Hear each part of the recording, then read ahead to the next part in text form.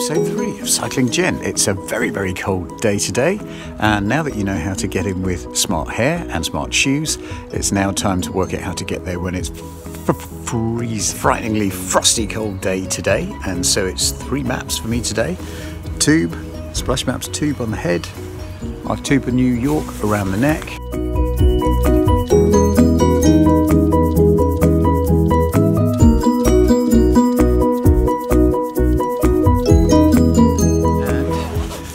Draft off the chest.